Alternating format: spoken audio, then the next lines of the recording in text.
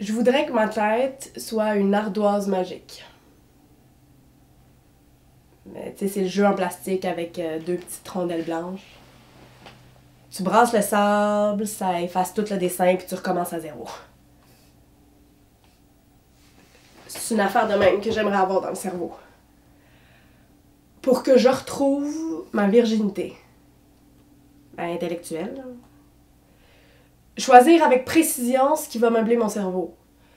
Ce qui va m'accompagner pour le reste de ma vie. Réorganiser mon espace mental. Faire le grand ménage. J'ai l'impression d'être une imposteur. Que chaque parole qui sort de ma bouche en est une prémâchée par quelqu'un d'autre.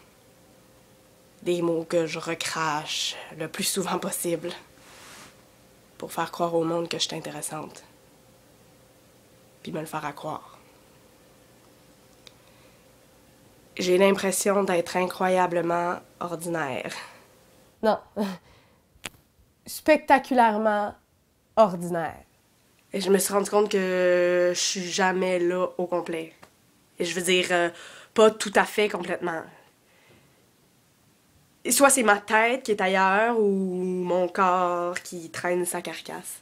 Depuis toujours, mon vocabulaire se résume à je devrais être, euh, j'aurais dû faire, euh, je manque ceci, euh, plus tard, ailleurs, là-bas, demain, dans une heure. Incessamment. Ça, c'est un mot poli pour dire jamais. J'ai l'impression que tout ce qui m'entoure va connaître une vie plus dense que la mienne. Que cette échelle-là verra toujours plus loin que moi. Que cette boîte-là accumulera plus de souvenirs que moi.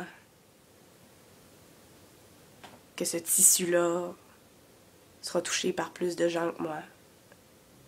Caressé par plus de mains, de cheveux, puis de lèvres.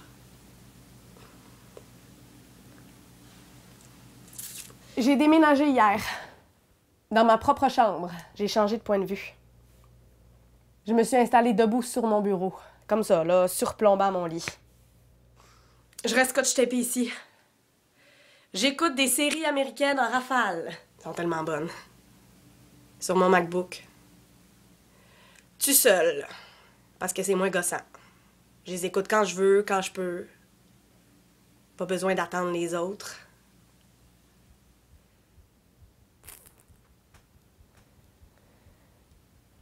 Des fois, je me fais vomir.